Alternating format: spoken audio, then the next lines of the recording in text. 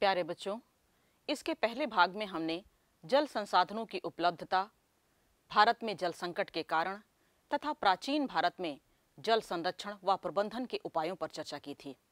प्यारे बच्चों, अब हम बहुउद्देशीय नदी घाटी परियोजनाओं से होने वाले लाभों की चर्चा करेंगे। बहुउद्देशीय नदी घाटी परियोजनाओं से सबसे अधिक लाभ सिंचाई के क्षेत्र में हुआ है। स्वतंत्रता के पश्चात भारत में सिंचित क्षेत्र में तेज़ी से विस्तार हुआ है।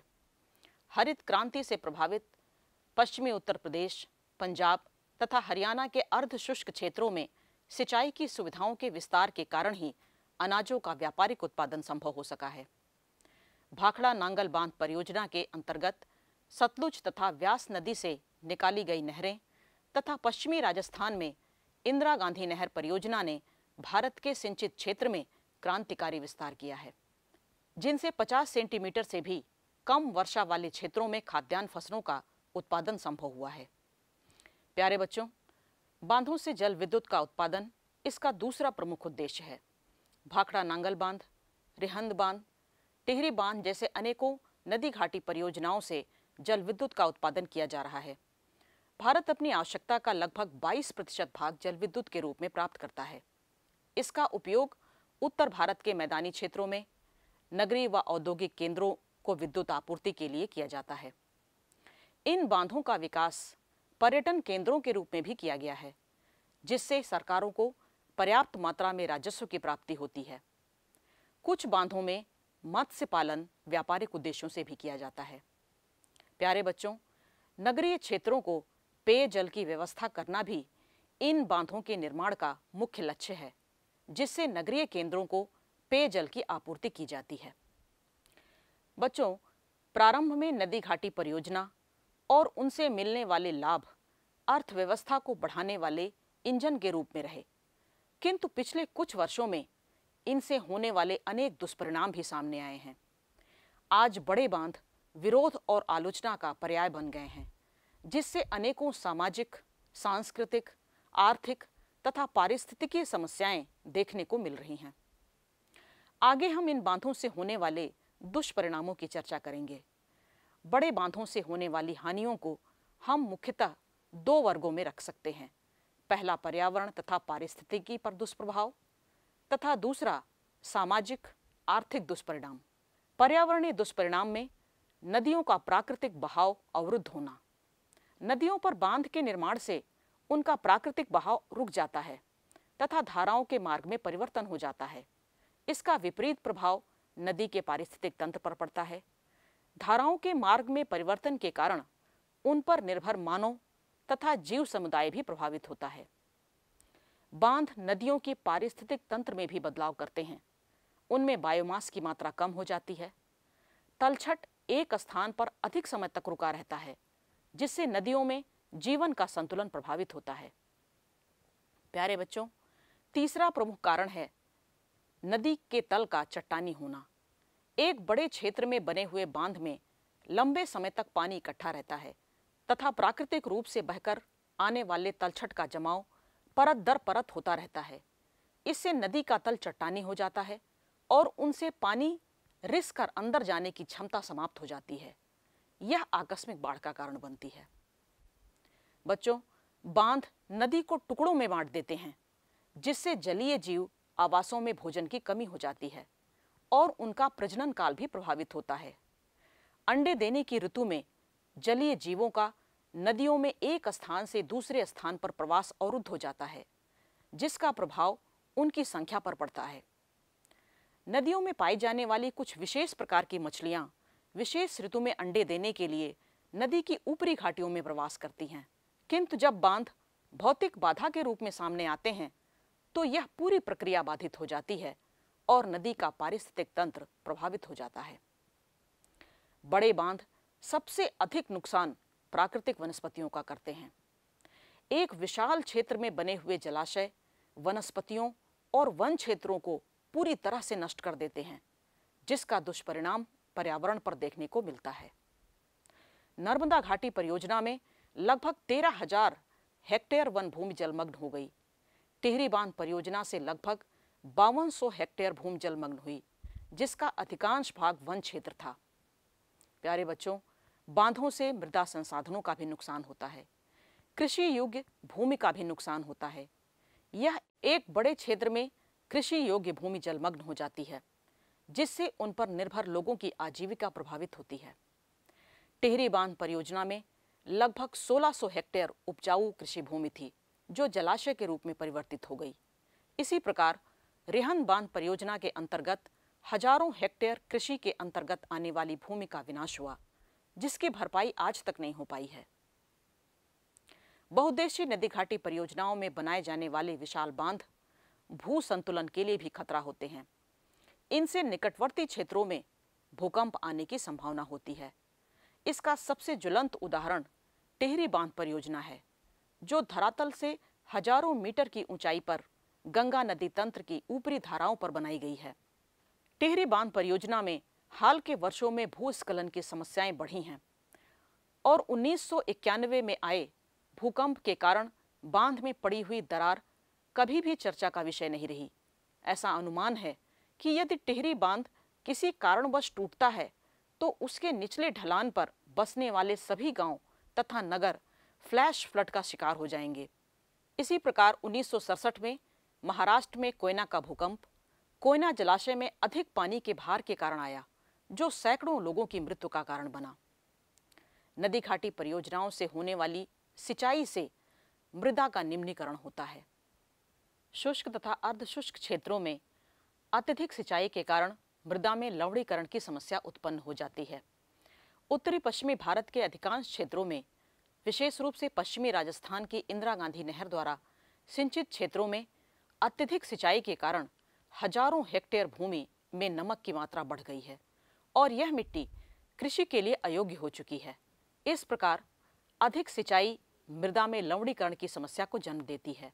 यह समस्या पंजाब तथा हरियाणा के अधिकांश क्षेत्रों में भी तेज़ी से बढ़ रही है। बांधों में दरार पड़ने से आकस्मिक बाढ़ का भी खतरा रहता है। इस प्रकार अचानक आई हुई बाढ़ को फ्लैश फ्लड के नाम से जाना जाता है जिससे प्रभावित क्षेत्रों का जनजीवन बुरी तरह प्रभावित होता है। वर्ष 2013 में आई केदारनाथ आपदा इसी प्रकार के बाढ़ का उदाहरण है। केदारनाथ मंदिर के पीछे स्थित चोराबारी जलाशय में पानी का दबाव बढ़ने से पूरी केदार घाटी अचानक जलमग्न हो गई जिसमें लगभग 4,550 गाँव प्रभावित हुए। और 5,000 से अधिक लोगों की मृत्यु हुई। यह प्राकृतिक आपदा 2004 में आई सुनामी के बाद भारत की सबसे बड़ी प्राकृतिक आपदा मानी जाती है।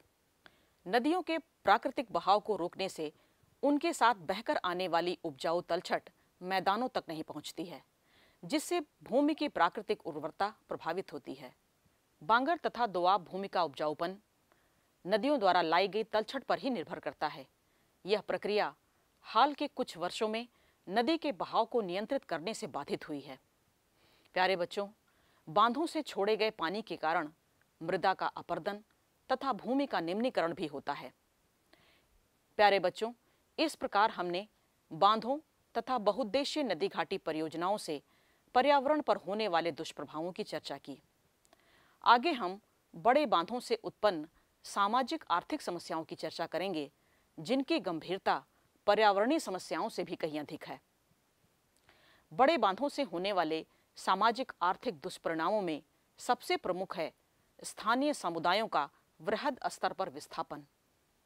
बड़े बाँध के निर्माण से हज़ारों वर्ग किलोमीटर क्षेत्र में बसने वाले गाँव के लोगों को अपना मूल स्थान, आजीविका और अन्य संसाधन छोड़कर दूसरे स्थानों पर पलायन करने के लिए बाध्य होना पड़ता है।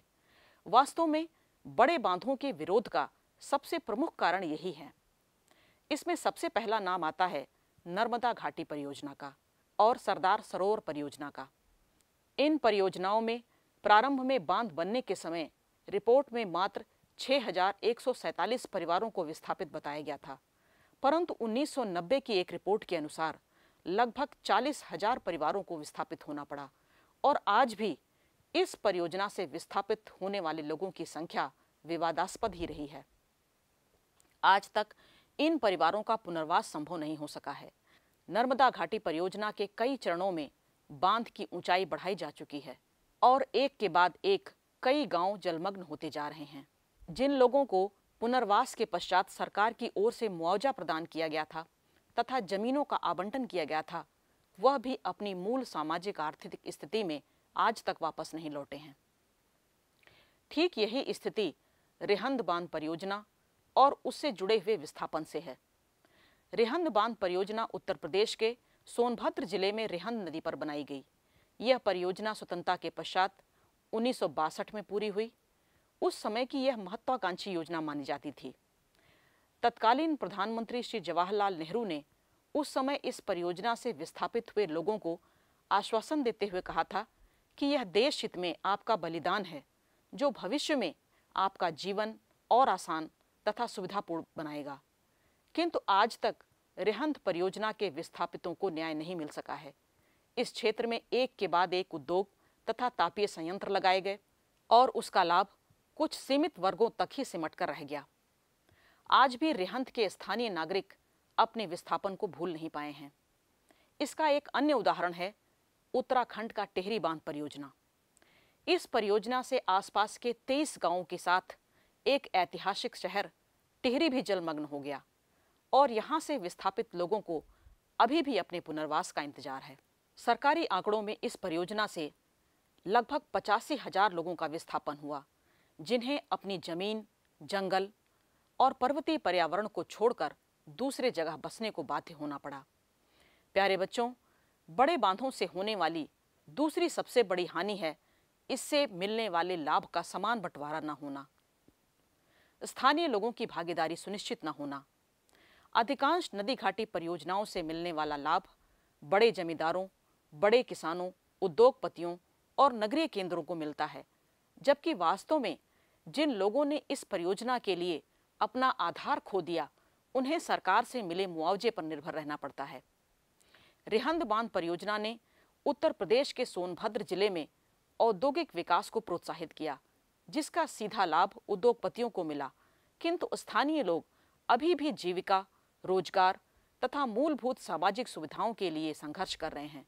इतना ही नहीं, इस क्षेत्र में बनने वाले तापीय विद्युत केंद्रों से निकलने वाले धुएँ ने स्थानीय स्तर पर वायु प्रदूषण को बढ़ा दिया है और इन तापीय केंद्रों से निकलने वाले राख ने रेहंद नदी और बाँध के पानी में मिलकर इसे जहरीला बना दिया है। रेहंद नदी के आसपास रहने वाले सैकड़ों गाँव वर्षों से इस जहरीले पानी को पीने के लिए मजबूर हैं। समाज में इस प्रकार की आर्थिक और सामाजिक असमानता संघर्षों का कारण बनती है, जिनसे सामाजिक विघटन उत्पन्न होता है, आंदोलनों की नींव पड़ती है, सामाजिक अस्थिरता का जन्म होता है, जो किसी भी लोकतांत्रिक गणराज्य के कल्याणकारी संकल्प को और कमज़ोर करता है। नर्मदा बचाओ आंदोलन, टेहरी बचाओ आंदोलन बड़े बांधों के विरोध में मुखर स्वर के रूप में उभरे हैं। नदी घाटी परियोजनाओं में नहरों के माध्यम से सिंचाई ने कृषि के क्षेत्र में व्यापक परिवर्तन ला दिया है। ऐसी स्थिति में प्राकृतिक रूप से उगने वाली सामान्य खाद्यान्न फ़सलों का स्थान, जल गहन और वाणिज्यिक फ़सलों ने ले लिया है। ऐसी फ़सलों में ज़्यादा से ज़्यादा सिंचाई की आवश्यकता होती है और लंबे समय के बाद भूमि की उर्वरता समाप्त हो जाती है। भूमि में लवणता की मात्रा बढ़ जाती है।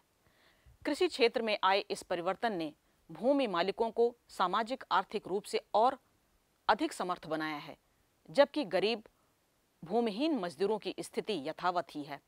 इस प्रकार की सामाजिक दूरी ने समाज की संरचना को बदल कर रख दिया है। प्यारे बच्चों, नदी घाटी परियोजना देश में राज्यों के बीच हमेशा विवाद का कारण रही है।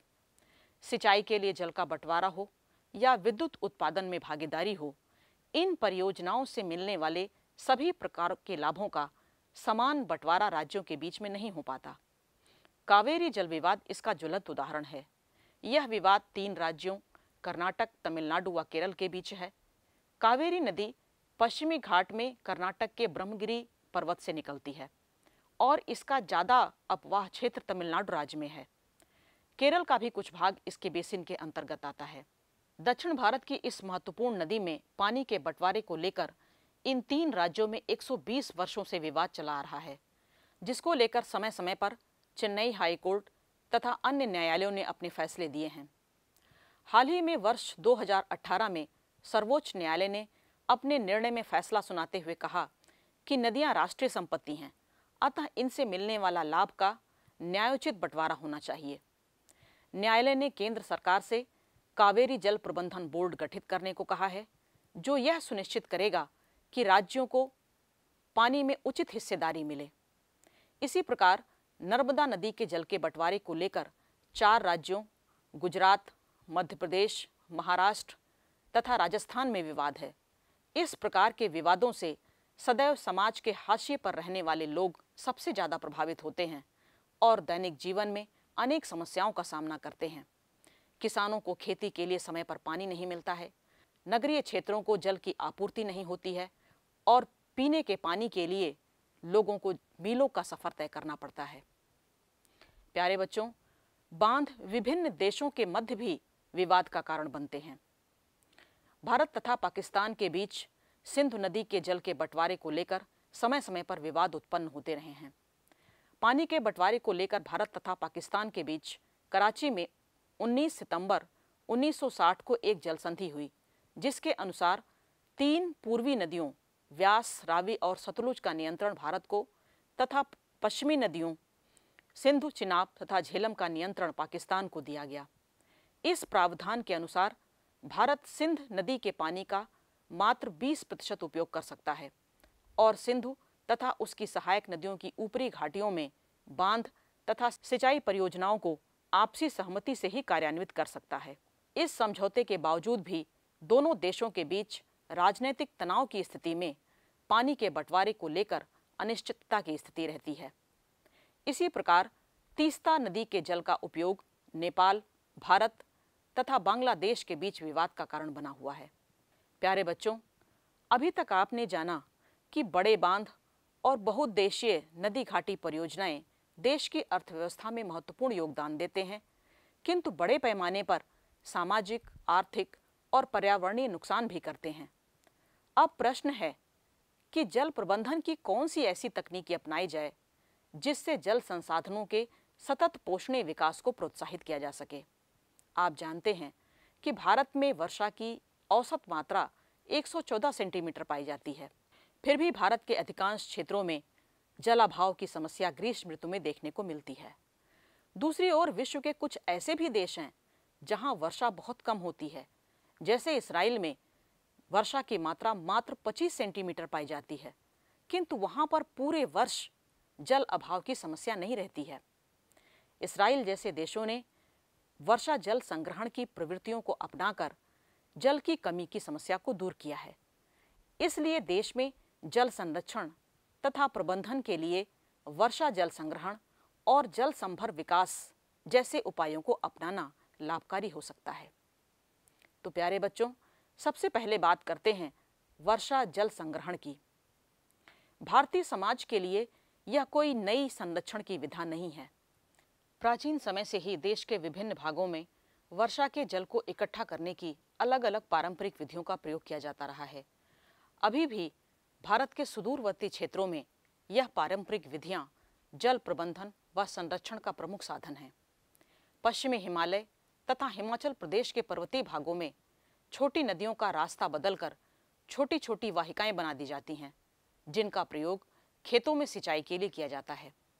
इन्हें स्थानीय भाषा में कुल या गुल के नाम से जाना जाता है। हिमाचल प्रदेश के सीढ़ीदार खेतों में यह सिंचाई का एक प्रमुख साधन है। राजस्थान में पीने के पानी को एकत्रित करने के लिए छत वर्षा जल संग्रहण एक आम तरीका था, जिसमें वर्षा के दौरान छत पर गिरने वाले पानी को संग्रहित किया जाता था। राजस्थान के जैसलमेर ज़िले में खादिम तथा जोहड़ इसी प्रकार की संरचनाएँ हैं। राजस्थान के कुछ क्षेत्रों में पानी को इकट्ठा करने के लिए भूमिगत टैंक की व्यवस्था की जाती थी, जिसे टांका कहा जाता था। बीकानेर फलोदी और बाड़मेर में लगभग हर घर में पीने के पानी को इकट्ठा करने के लिए टांके की व्यवस्था होती थी। आज भी राजस्थान के पश्चिमी क्षेत्रों में टांका पारंपरिक घरों का एक अभिन्न हिस्सा होता है। यह मुख्य घर या आँगन में बनाया जाता है। छत का पानी पाइपों से होकर भूमिगत टांके में पहुँचता है, जहाँ इसे एकत्रित किया जाता है। टांका में वर्षा जल अगली वर्षा ऋतु तक भी संग्रहित किया जा सकता है। इसे स्थानीय भाषा में पालर पानी के नाम से जाना जाता है, जो कि प्राकृतिक जल का शुद्धतम रूप समझा जाता है। कुछ टाका के साथ भूमिगत कमरे भी बनाए जाते हैं, जिससे ग्रीष्म ऋतु में गर्मी में राहत मिलती है। किंतु वर्तमान समय में पश्चिमी राजस्थान में वर्षा जल संग्रहण की यह रीति धीरे धीरे समाप्त हो रही है। इंदिरा गांधी नहर से मिलने वाले पेयजल की आपूर्ति से लोगों की निर्भरता टांका पर कम हो गई है। इसी प्रकार पश्चिम बंगाल के अधिक वर्षा वाले क्षेत्रों में छोटे छोटे पोखर से सिंचाई के साथ साथ मत्स्य पालन भी किया जाता है। प्यारे बच्चों, मेघालय भारत के अधिकतम वर्षा वाले क्षेत्रों में से एक है, जहाँ पर वार्षिक वर्षा की मात्रा 200 सेंटीमीटर से भी अधिक है। इसी राज्य में चेरापूंजी और मासिन राम स्थित हैं, जहाँ विश्व में सर्वाधिक वर्षा होती है। किंतु मेघालय में भी पीने के पानी के लिए छत वर्षा जल संग्रहण की विधि प्राचीन काल से ही प्रचलित है। पूर्वोत्तर भारत में बाँस ड्रिप सिंचाई प्रणाली के द्वारा भी स्थानीय सिंचाई की आवश्यकताओं को पूरा किया जाता है। पर्वतीय क्षेत्रों में ऊपरी ढाल पर छोटी छोटी वाहिकाओं से निकलने वाले पानी को पाइपों और बाँस के द्वारा निचले ढलान पर उपस्थित कृषि क्षेत्रों तक लाया जाता है और आवश्यकता पड़ने पर बाँस पाइप या वाहिकाओं के माध्यम से जल की दिशा में भी परिवर्तन कर दिया जाता है और इनका उपयोग कृषि कार्यों में किया जाता है। प्यारे बच्चों, दक्षिण भारतीय राज्यों में छत वर्षा जल संग्रहण की पद्धति को अपनाया गया है। तमिलनाडु के सभी घरों में वर्षा जल संग्रहण के लिए संरचनाएँ बनाना अनिवार्य कर दिया गया है। बच्चों, वर्षा के जल को इकट्ठा करना और उसका उचित प्रबंधन करना आज समय की आवश्यकता है। यही कारण है कि आज सरकार स्थानीय स्तर पर वर्षा के जल को संग्रहित करने के लिए अनेक उपाय अपना रही है।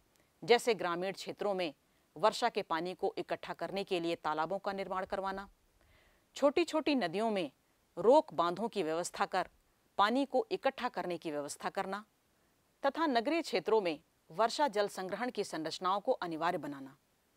वास्तव में जल संसाधन संरक्षण और प्रबंधन राज्य तथा राष्ट्र के साथ साथ समुदाय और लोगों की भी ज़िम्मेदारी है, जिनकी उचित सहभागिता और जागरूकता के बिना जल संकट का सामना नहीं किया जा सकता है।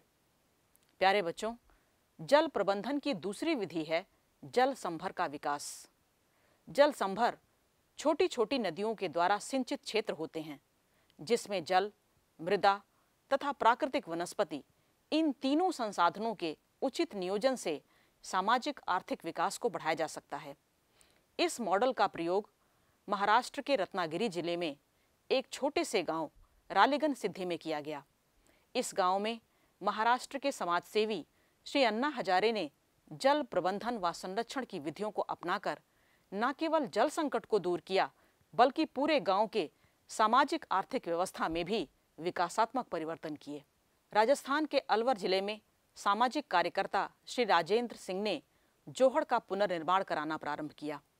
साथ ही क्षेत्र में जल संभर विकास को भी प्रोत्साहित किया, जिससे स्थानीय स्तर पर जल संकट की समस्या से निपटने में मदद मिली। उन्हें इस कार्य के लिए रेमन मैक्सेसे पुरस्कार से भी सम्मानित किया गया। प्यारे बच्चों, स्पष्ट है कि आने वाले विश्व में बढ़ती हुई जनसंख्या जल संसाधनों पर दबाव डालेगी जिससे विश्व के अधिकांश देश जल संकट का सामना करेंगे। ऐसी स्थिति में जल के सावधानी पूर्वक प्रबंधन तथा उसके संरक्षण पर ध्यान केंद्रित करना चाहिए।